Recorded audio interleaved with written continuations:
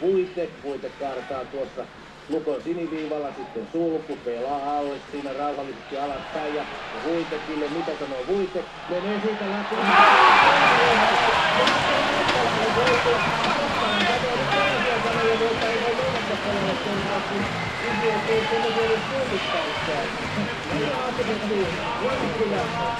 Se oli kyllä ala. Ei sillä lailla, mutta vääntö on niin kovaa, Niin on, että niin. siinä tulee sellaisia tilanteita, että ja kun hän koittaa joitakin niistä tilanteista ottaa pois, niin kyllä niitä silloin tällöin kyllä niitä jäähyjä ja väkisin räppääntyy. Sama Ju- tilanne oli silloin... Oho, no siinä ravauski paikka. Sieltä tulee Ravaskin ajoitus. Se tulee yössä 17.27. Jani Hurme näkee tuon maalin vasta videoilta.